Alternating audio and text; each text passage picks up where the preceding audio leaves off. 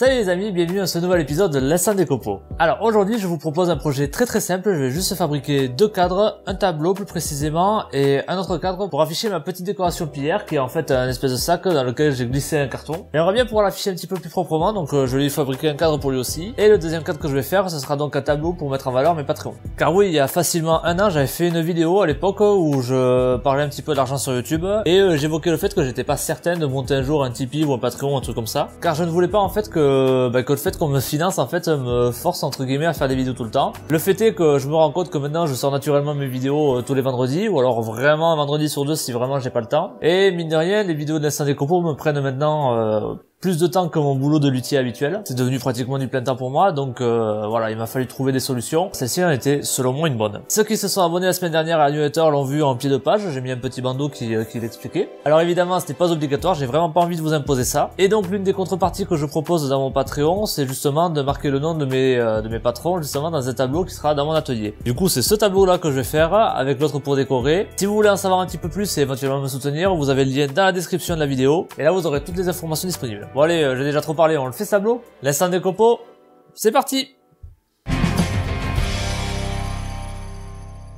Avant de commencer à fabriquer ce cadre, je commence par prendre d'abord quelques mesures. Puis je récupère une chute de contreplaqué.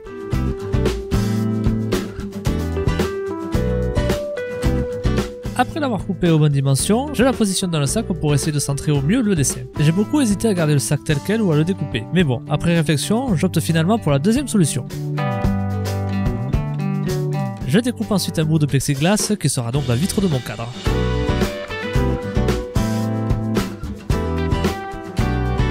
Pour confectionner mon cadre, je vais utiliser ce bloc de tulipier. Pour ce faire, je commence comme habituellement par le dégaucher sur au moins deux faces. Je le refends à la scie à ruban. Je passe finalement mes planches à la raboteuse. Je crée ensuite une moulure à l'aide de ma défonceuse sous.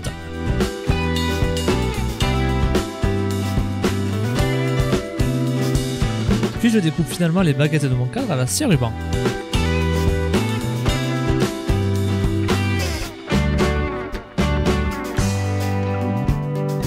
Bon, et là, je vous avoue, j'étais un petit peu nul sur le prochain plan, mais je fais une feuillure pour encastrer mon cadre. Et tant que j'y pense encore, j'en profite pour passer un petit peu de peinture noire sur le fond de mon cadre. Ça permettra au motif de, mieux ressortir.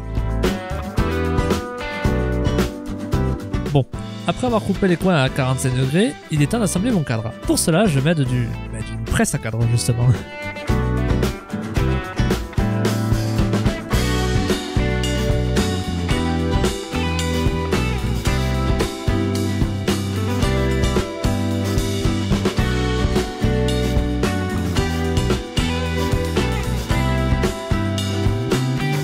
Pour finir, je ponce finement mon cadre et applique une matine. C'est une petite finition simple qui rehaussera un petit peu la couleur de mon cadre. Voilà, c'est déjà mieux comme ça. N'hésitez pas d'ailleurs à me dire ce que vous en pensez dans les commentaires.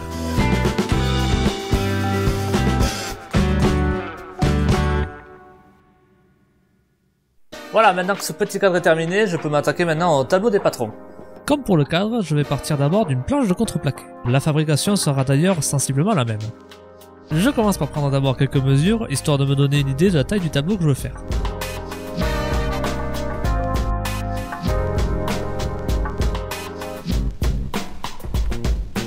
Une fois ma largeur découpée, je calcule la longueur à l'aide du nombre d'or, histoire d'obtenir un rectangle parfait. Puis je coupe.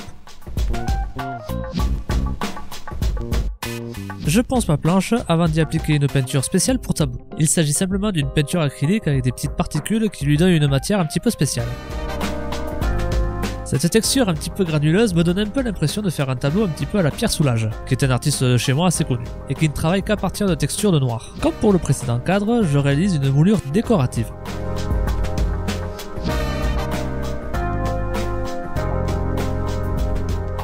J'ajuste éventuellement à l'aide de mon rabot.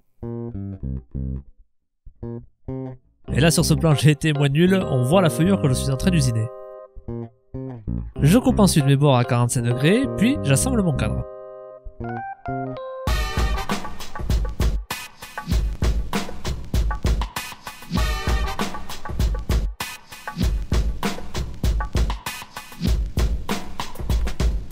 Pour la finition, je décide de le peindre simplement en rouge. Pour le décorer, je décide de mettre au-dessus le petit logo Patreon. Pour cela, je découpe un petit morceau de MDF sur lequel je vais encoller le logo que j'aurai imprimé, à défaut de pouvoir le faire autrement avec une CNC par exemple. Néanmoins, je décide de le coller provisoirement avec de la colle chaude.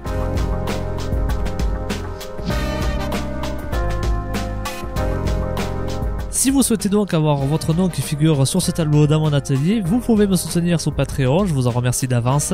Tous les liens sont dans la description comme d'habitude. Quant à moi, je vous retrouve dans un prochain épisode de l'Instant des Copeaux. Salut